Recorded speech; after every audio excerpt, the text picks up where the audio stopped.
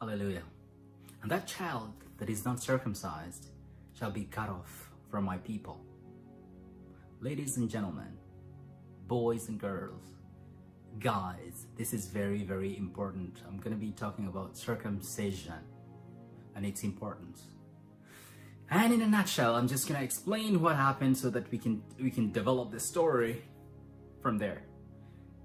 Abraham, God appeared to Abraham. I guess this was about the fourth time, if not the fifth, that God appeared to Abraham. He appeared to Abraham at the age of 99 and told him that I want to establish a covenant that is eternal. Very important. When something is eternal, it's everlasting. It never ends. And he said, hey, this covenant is between you, Abraham, and your descendants. What do I want to do as God?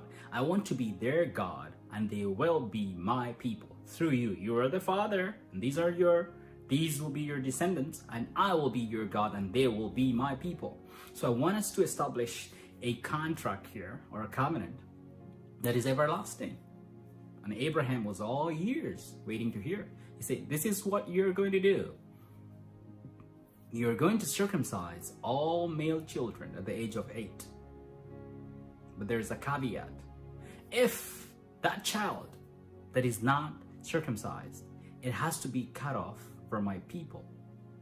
It shall not be part of my people, and I shall not be their God. They will be outside the grace. I'm God, you're my people. If you're not circumcised, you can't be among my people, and I can't be your God. Terrible, right? And this thing was very serious. Then what happened? Abraham took all the same day. The Bible says in the book of Genesis, chapter 17, on the same day, he took his whole household and circumcised everybody, all men, including foreigners, his servants, everyone was circumcised so that they can honor the covenant of God. God said, if you are not circumcised, you have broken my covenant. So you're not part of the agreement. You have, it's broken. You're, you're, I'm not your God. You're not my, per, my person or my people. Abraham took it very, very seriously. On the same very day, he himself got circumcised. And guess what? He was 99 years old. So I want you to understand that story and what it meant and where I'm going to take it forward from here. So two key things I want us to take away from that story. Abraham, from when he was born till 99, he was not circumcised. But at 99, he got circumcised. So you're never too late to be circumcised. Keep that at the back of your head and my head. Number two, Abraham and all the people in his family looked different. They had a before and after. So these are the two key takeaways that I want us to, I want us to take home. Never too late to be circumcised, and when you are, you're different from yesterday. So Abraham had a look. If you looked at him physically, in his physical anatomy, he was different before and after circumcision. And God said, this is how I want it. And you, as you see, it's in the culture of the Middle East and I think most part of the world to circumcise their male children. But I'm not here to talk about how, you know, man gets circumcised. You, we know it's a removal of foreskin from the manhood of a man. So there is something that gets cut off and removed. So you look different before and after. But I want to talk about that covenant because it's eternal. This, uh, this covenant that God is trying to establish will live or, uh, will forever be there. It'll live on for eternity. That's why I'm trying to say it's important for us to understand what's this circumcision because we all need to be circumcised. And I'm not trying to say this is something that's done only on men. So women, please don't turn the dial and say, oh, this is not for me, it's for men. It's for everybody. So I want to bring that, that term, circumcision, and let us dis discuss that openly. What is circumcision? And we, we are going to look at this contract or, or covenant because it's eternal. When God says something is eternal, it can't change. It will never, never change. So it's important for us to know what do we need to do so that we can get circumcised. Perfect. How do you know you or me are circumcised? litmus test. What's a litmus test? One, do you have a before and after? If you don't, most likely you don't even know as such there is a thing as such as circumcision. So you must have a before and after. And we have we, we have come to realize that there is no stage you can be circumcised at any age. There is you you're never too bad to be circumcised. You're never too late to be circumcised. You you're never outside the purview of circumcision because Abraham circumcised all people, including foreigners. So it has no tribe, it has no race, it has no color, it has no age, it has no sex as well as, uh, as I'm gonna explain as we go forward. So everyone needs to be circumcised because if you're not, there's a huge, huge eternal risk that God said you will and you will be cut off from my people. You'll be thrown out of the outer darkness. Means you're outside God's grace. So guys, very important to listen in. How do you get circumcised? Very easy. Apostle Paul says that circumcision that people thought about, about the physical cutting off of the foreskin, that's not what God intended. Jesus intended us to be circumcised in the heart. What does that mean? That means you must have a before and you must have an after. What does it mean? The foreskin that's being removed from the heart is the old you, an old me. So that means we, we, do, we do possess a nature that it is called in the Bible the old nature that has to be removed. So when we get circumcised, that old nature, which is being represented by the foreskin, is removed and we become new. And this is this is what God has called us to be circumcised of. And how does it happen? Let's go back to Genesis. When God appeared to Abraham, he did not waste time. He did not dilly-dally. Like, oh, I'll do this tomorrow or next week. I postpone it after. He did not. The same day, the Bible says the same day, he and his whole household got circumcised. So what does that mean? When you hear the word of God, you must respond the same day because tomorrow is not guaranteed. When you hear the convictions of the Holy Spirit, the word of God, you must respond on the very same day you must get circumcised. That means there is a foreskin that must be removed from off you. And so that you, be, you become part of this covenant, of everlasting covenant. And I want to explain very simple, in very simple words, what is to be circumcised. The old man in you and me, the old man inside of you has to die or be cut off, the foreskin and you have to have a new look. Just as I said, Abraham from 0 to 99 was different. On that very day he got circumcised, he was a, he, he had a new look if you look at his manhood or his, his, his physique, you know what I mean? So what I'm saying is, when you hear the gospel being preached, something in you has to be removed. There's an old, dying to old self, old way of thinking, old way of seeing, old way of talking, old way of hearing, old way of perceiving, old way of doing with hands, old way of going with legs. Your old self. Because this old self has to be removed for you to be part of this contract of being God's people. So there is a death that must happen. Means you must die in order to be circumcised. And I'm not talking about the physically dying and dying.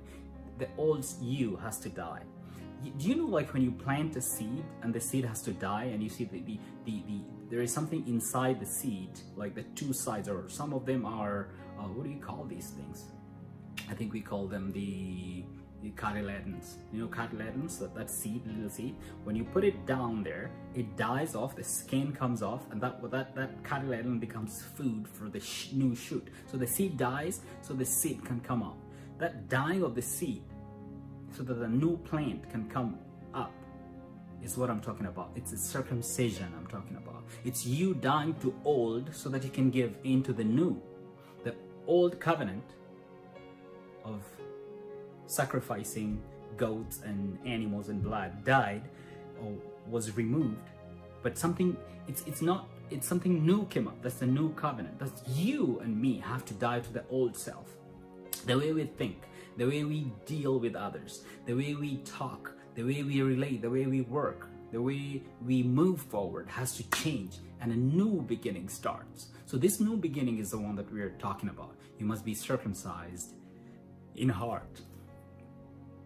Absolutely. And this happened only in accordance with the book of Romans chapter 10 when you accept Jesus Christ as your personal Lord and Savior. He comes in your heart. You confess him with your mouth. You believe in the heart that he died, he came, God himself left heaven. He came as a man. He paid your sins. He died on the cross. He rose again and went back to heaven. And he is there forever interceding for you. So when you accept this message and say, Jesus paid the price, so I don't have to pay it, and accept the sacrifice, the sacrifice he offered to the Father, thus becoming a propitiation for our sins, you accept that, then means you become born again in the heart and you confess Jesus is the Lord and Savior.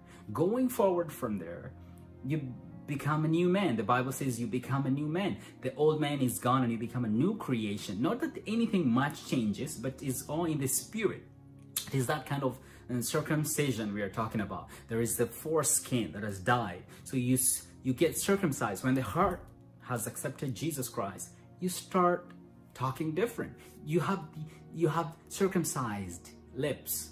You see, you don't, you, you, you stop talking the way you were talking yesterday and you don't curse anymore. You see, the, the way you were thinking now, you start thinking like Christ. You don't think evil. You know, the way we, you were seeing, what you were seeing, you, you see it has no taste anymore because now you have circumcised eyes. You have circumcised ears. What you were listening to, the filth, becomes unpleasant and you see now you want to listen to that which is clean because there is an old you that has died so guys, just gonna finish tonight. It's a very, very simple message that if you have not been circumcised, I'm afraid to say that you are already or you will be cut off from God's people. You must receive Jesus type of circumcision. You must die to self, the old you, the foreskin has to be removed. And that old you dying, there's a new creation Jesus gives birth to and we know that when you confess Him, the Holy Spirit is the one who comes in and circumcises the whole you. You start thinking differently. You start talking differently. You start seeing differently. You start listening differently. You, you, your, your meditation, you know, each man's heart is always talking to him. Each man's subconscious is always running thoughts. You see, the thoughts of evil disappear and all you want is the things of God. You, you're singing hymns, you're reading the Bible, you're praying. It's the things of God because there is something that died.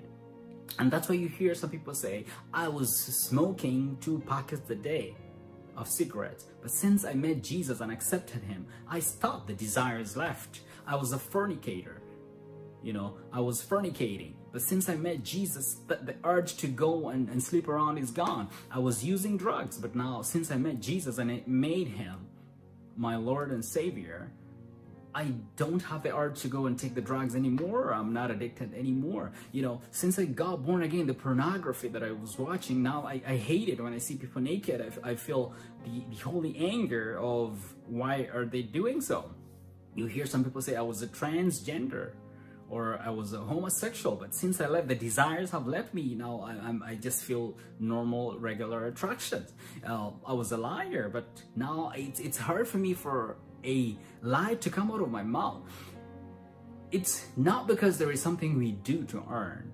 It's something that is done to us. It's something that is a prerequisite of you being called a child of God. You have to be circumcised. And this type of circumcision is not something you do on yourself. It's something you have to go to Jesus. You have to accept the Lord Jesus Christ as your personal savior so that that old self dies. And we all know that we have an old self. And it doesn't mean after you get born again, you won't, you won't get tempted. That old self always tries to, to, to come back. But it's, it's, it's easier to conquer when you have been circumcised because it'll be just be a temptation and you have the Holy Ghost and the Holy Spirit and Jesus and, and a prayer life that helps you to conquer that. So I'm here to call you guys to be circumcised in the heart. Jesus is calling you to be circumcised in the heart. You know very well that old you, that old self. You know the things that make you not be circumcised. You know them very well. You know the habit that has kept you, they, they have kept you bondage. You know what you're giving your attention to that is keeping you away from being called into God's people. Your conscience, for sure, the conscience of man. We have a conscience that tells us, that it always tells us that, you know, it, it's talking to us and it's always telling us, oh, you know, what you're doing is, is, is right. It's, it's not of God. And that old self is what God is calling us to be circumcised of. Because without that circum circumcision, remember what we said in the beginning, that child that is not circumcised shall be cut off from my people because they have broken the covenant. It's very important to be circumcised. So I'm calling you guys because every one of you and me knows what bondage or old self. We know the foreskins that we have that right now we can confess and say, I am sure that I'm not I'm not circumcised. And if any if God has to take count of his people, I would surely be cut off. I would surely and surely be cut off. Don't wait for tomorrow. Abraham got circumcised on the very same day. So I'm calling people of God to be circumcised in the heart and you will see the fruits of that circumcision. You'll see your brain being circumcised in thoughts. You'll see your eyes, your ears, your whole entire being, your whole your whole lifestyle changing around, turning around relationships, how you deal with men, how you deal with women, how you deal, how you view women, how you view men, how you view children, how you view the world, how you view money, because right now, some of us are not circumcised when it comes to money. We run after money with all that we have, with all our hearts, which is also wrong. But when you get circumcised, money runs after you. You don't run after vanity, but it runs after you because you're higher than vanity. You know, some of us, how we view men, you know, men are not machines, you know, machines to satisfy and objects of machines make us get satisfied. Women are not objects. You know, people are not there to be used anyhow just to for for a means for you know you know how they say the the means justifies the end use man to in your company and pay them nothing and steal all the profits and you know use their sweat and blood to build you men are not objects women you know, women are not sexual objects. Men are not sexual machines. Children are not, old men are not problems in the society, you know. So God wants us to, to, to reach to that place where we get circumcised in the heart. And that's the only way we can be counted as God's people. So for those who heard, uh, who heard this message, and right now you're ready to be circumcised, I'm going to lead you in a prayer. I'm going to give you a few seconds here. Let me look at my clock. 10 seconds. Get ready. If you want to be circumcised today like Abraham at the age of 99, you're never too bad to be circumcised. And don't worry about what is going to happen in the future. Is my old self going to try and come back? Are my friends going to try and come and influence me? Uh, what am I going to do with, with the substances that I, have in the house? That's not your worry. Your worry is to be circumcised. The one who comes in you, that is Jesus, and his Holy Spirit is going to help you going forward. Just be, become, become this new creation, and he takes care of the rest. All you want to be counted in is as a people of God. All you need to do is to get circumcised. The rest, you don't have to worry. God has become your God, and you have become a people of God or a person of God. Worry not about what's going to happen and temptations and things in the world and trouble. Those uh, will always be there. The most important things is to become a son of God. Well, the Bible says, Behold, what manner of love God has given unto us. We have been called children of God. Why? We became circumcised. How? Putting our faith in Jesus Christ. That's the only way to be circumcised. Yes, to remove the foreskin, the old you and the new you becomes. That's the only way to become a person of God, a child of God. The opposite is true. If you're not a child of God, you are a child of the devil. And you know the wages of that too. Thank you. So, are you ready? Lift up your right hand and say, Master Jesus, I've heard your word. I want to be circumcised of you today. And this circumcision is of the spirit, is of the heart. I believe you left heaven, you came on earth as a man, you showed us the way, you paid the ultimate sacrifice for your life. You shed your blood, you carried my sins, transgressions, and iniquity. Receive me graciously, Lord. Forgive me my sins. Circumcise my heart. Give me a new life. I'm born again. I'm a new creation. My old past is gone. I'm a new creation, circumcised by the Holy Spirit. Help me to live for you. Thank you, Jesus. Thank you, Holy Spirit. Thank you that I have become a child of God. Thank you that I'm that I've become a person or a people of God. God, you're my Father. God, you're my God. And I am your person. In Jesus' name, I pray. Amen. Amen. Thank you for praying that prayer. It looks so simple, but its impact is eternal. Thank you so much. Find a spiritual local group church that you can pray with and fellowship with as you grow as a child of God and as a person or a people of God. Thank you so much. God bless you.